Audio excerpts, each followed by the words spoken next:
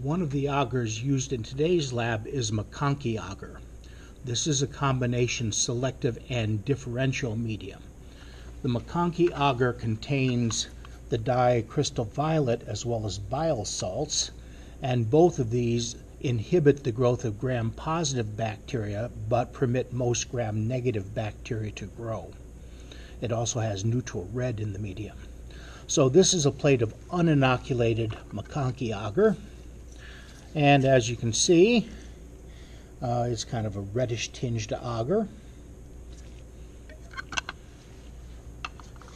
Now, in addition to selecting for gram-negative bacteria, that is, it lets gram-negative bacteria grow and inhibits gram-positives, it's also used to differentiate those gram-negatives that ferment lactose from those that do not ferment lactose.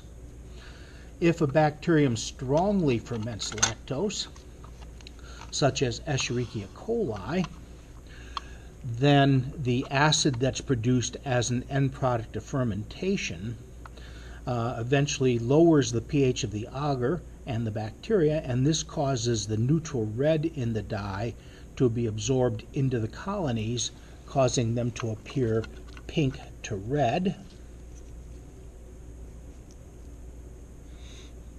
And in addition, if there's strong fermentation, the bile salts in the agar precipitate out a solution, causing the agar to appear a bright pink and cloudy.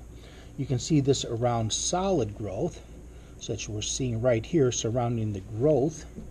There's a nice pink halo or precipitate around the growth. We can also see that around the isolated colonies here.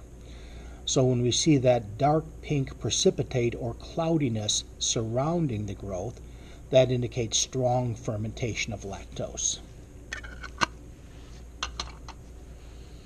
If the bacterium weakly ferments lactose, there's still enough acid to cause the colonies and the growth to appear pink to red, as we see with this Enterobacter aerogenes.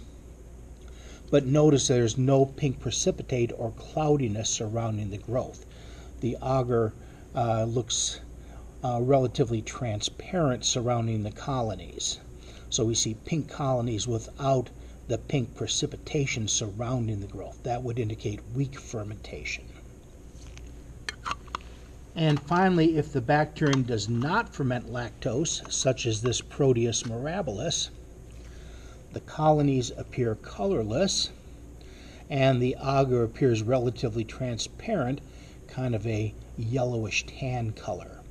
So that would indicate no fermentation of lactose.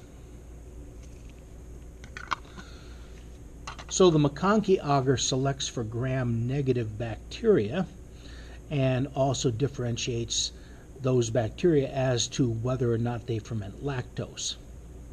And this is another common medium that's used to help differentiate members of the bacterial family Enterobacteriaceae.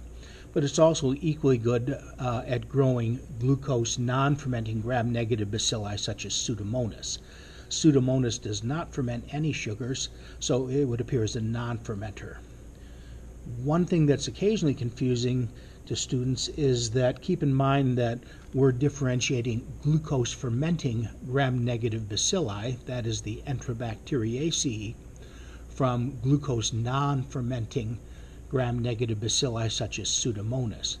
Now, in that case, we're determining whether or not they ferment glucose. Glucose is not found in the MacConkey agar. Lactose is present.